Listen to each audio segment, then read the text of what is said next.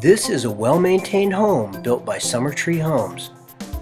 Built in 2011, this bright open mulberry floor plan has 1,550 square feet, a spacious living area, a kitchen with an island, a dining area, and three good-sized bedrooms plus an office.